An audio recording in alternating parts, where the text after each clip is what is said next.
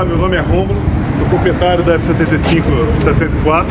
Eu vou contar um pouquinho da história dela aqui no canal meia, Fuca 6. Sete azul. É isso aí, Rômulo, bora lá, cara.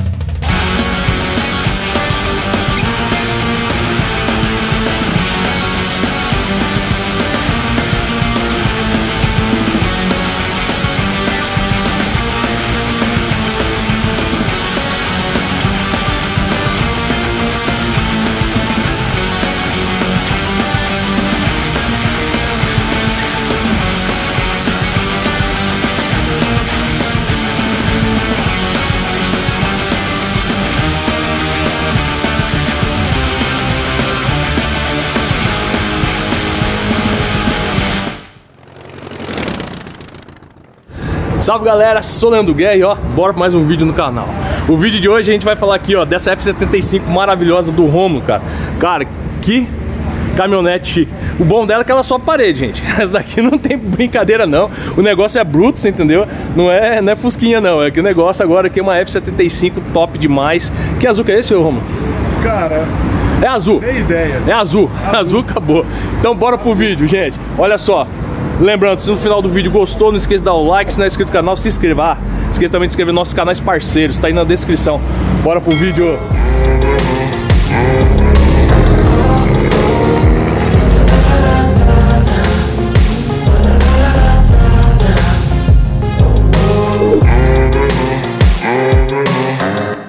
Já conhece, esse daqui é o Romulo, já se apresentou, dono da, FC, da SF75, trava-língua, né? E bora, gente, bora pro vídeo agora, né? Vamos ver toda a parte característica dela, o projeto dela e tudo mais. Vamos que vamos, gente, bora lá. Romulo, mais uma vez, obrigado, cara, por estar conversando conosco, cara, meu top demais sua F75.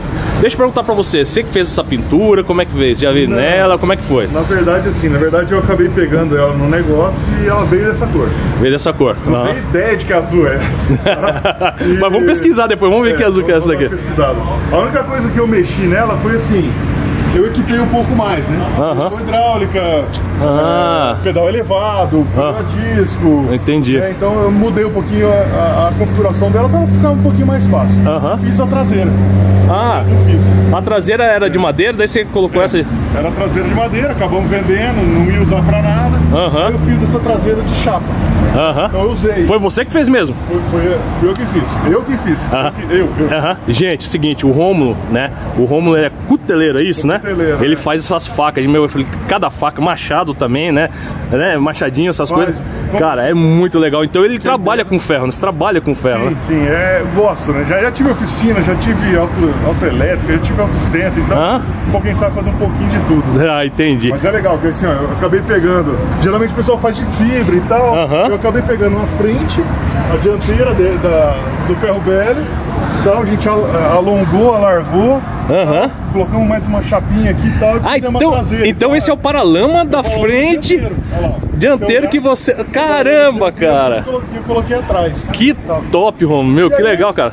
É, é só dobrar a chapa e soldar, então Aham. foi mais fácil. É, pra você é fácil. Ah, é tranquilo, foi boa. Gente, olha que top que ficou então, cara. E aqui, ó, gostei da traseira, cara, essa porta traseira. Que que.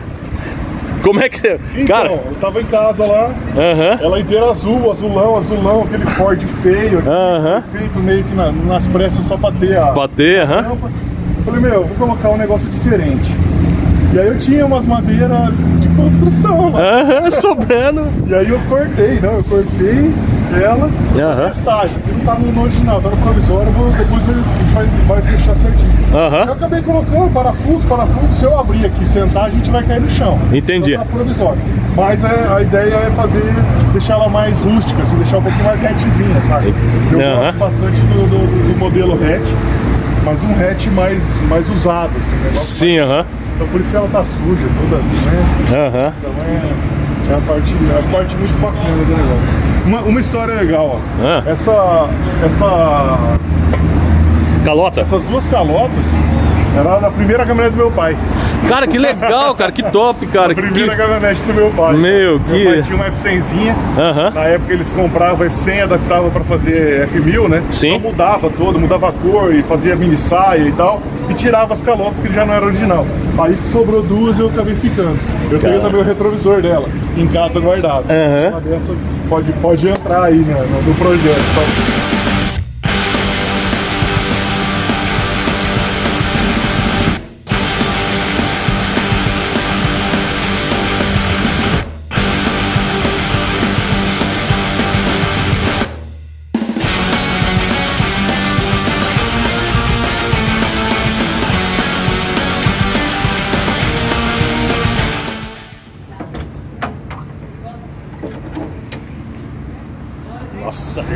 Que motor é esse aí, cara? Caramba. Então, esse daí é um.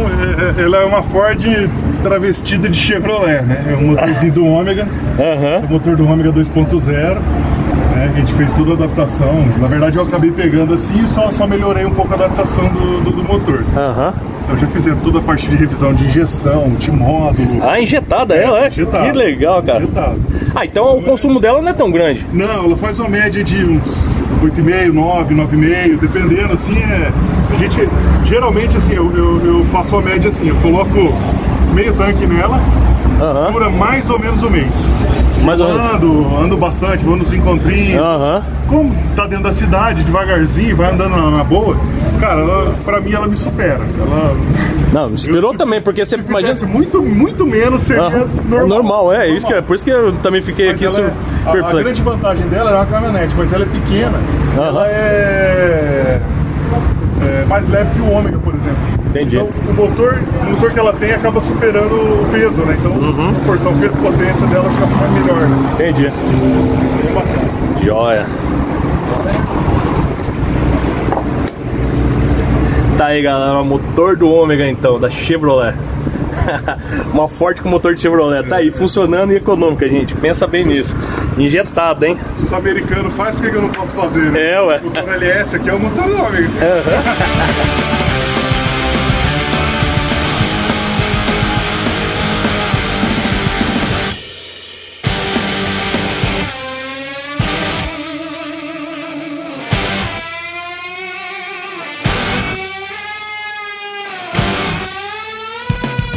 Ô, e essa interna aí, cara? Meu, que legal que também tá, cara. Coisa linda, né? Aham. Original, o rádio funciona, só que é AM, né? Aham. Então ele não pega estação Da nenhuma, época, mas aham. ele, o rádio funciona, tem som, a direção hidráulica. A gente fez umas, umas gambiarrinhas, por exemplo, ó, ver a voltagem, né? Ver a tensão volta- da- tensão do, do, do- do- né, da bateria e tal, um, um contagiro, Uhum. né, uma coisa mais simples.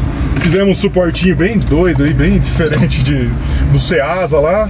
Ah, entendi, é. Patrocínio do Ceasa lá, tá? Aham. Né? Porta-treco. Ah, esse que é legal, cara. É. Foi feito mesmo, gente. Olha que faz- legal. É tudo na mão mesmo, o negócio Aham. é- É rústico Bem- é mesmo. rústico. Aí como você tá vendo, ó, a pedaleira elevada do, do Opala, né? Aham. A pedaleirinha elevada do Opala pra ficar mais fácil, mais fácil de andar e né, não ter problema, colocar um, um- um- agregar um valor a mais aí. Então, Ô, Romeu, o que eu, eu tô achando aqui, cara, eu achei legal aqui o, o seu câmbio aqui, a manopla dele, cara. O que, que é isso aqui? isso. Cara, a história dessa manopla aí, cara, é que meu, meu vô tinha uma machadinha Ah, você tá brincando. e aí quebrou essa machadinha e ficou lá. Meu vô guardava muita coisa. E aí ele faleceu, abrimos o baú dele e tava esse pedaço de madeira lá. Falei, ah, vou lá e eu, como eu faço faca e pra mim isso é normal, Aham. fui lá e esculpi um, um pedacinho do, do, do câmbio do meu carro, né? Cara, então tem um pouco, cada, cada lugar tem um pouquinho de história aqui, né? Pessoal, ó, além disso, ó, ó o que ele faz aqui também, ó. Isso daqui é tudo ele que faz, essas facas, né? Então É. ele, como é cuteleiro, né? Aí, ó. Olha lá, olha as facas, ó. Facas Esse parece bem diferentes. Ó, E essa daqui é do Leandro. Vamos dar um trato nela. Ó, essa daqui é minha. Essa daí era da- do vô da Sabrina, da minha ó. esposa, ó que legal. Uma que é. história. Aham. Vou dar um trato nela e ela vai ficar perfeita, vai ficar show de bola. Aí, ó, show. Nossa, olha essa, olha essa. Olha o som, gente, Muito. olha aí. ó. Ah, isso aqui pra deixar no carro, Aham. dá pra espantar qualquer um. Ô, Roma, aproveitando nós estamos mostrando aí o, o- né, as suas facas, quem Já quiser tá. comprar, como é que a gente faz? Como é que, como é que faz? Cara, só ligar pra mim, a gente projeta, faz, a gente tem a pronta entrega. Então tá, eu vou deixar então o seu contato, Fechou. tá? No Vamos- vídeo, vamos vou deixar seu contato aqui no, na descrição do vídeo, tá? Deixar também o seu canal lá do Instagram também, essas coisas. Fechou. Né? Qualquer coisa manda aí, direct. Aham. Precisando, estamos aí. Fazemos projeto. Essa daqui, ó. Olha que Cutel- legal. Cutelinho da onde? Rapaz do céu. Facão do Fuca. Facão do Fuca, que Facão massa. do Fusca. Olha aí, gente, aí, ó. O cutelinho do facão do Fusca. Que top. Então a gente usa, a gente usa bastante material reciclado, né? Então, Aham. legal pra caramba. É isso Hum, que é legal. show. A reciclagem, gente. É isso É. aí. Aí, pessoal, top demais. Valeu, Romulo. Romulo, mais uma vez, cara. Obrigadão mesmo, cara. Do coração, cara. Mostrar dessa F75, esse projeto legal pra caramba. Deixa eu fazer uma pergunta pra você, só pra gente finalizar. Você tem, você tá com algum projeto pra fazer ela? Você tá pensando em fazer o quê nessa Tô. por ele? É, ela tá alta assim, né? Autona, subindo Aham. aqui. Eu quero deixar ela socada no chão. Vamos, vamos Nossa baixar ela. Senhora, vamos doido. deixar ela da altura do Fuca. ali. Ô, na hora que você baixar ela, me chama que eu quero lá já fazer outro vídeo você andando com ela baixinha. Cara, meu primeiro F75 socado no chão em Londrina. Vamos fazer cara. sim. Cara, Fazer que sim, massa, fechou. cara. Top demais.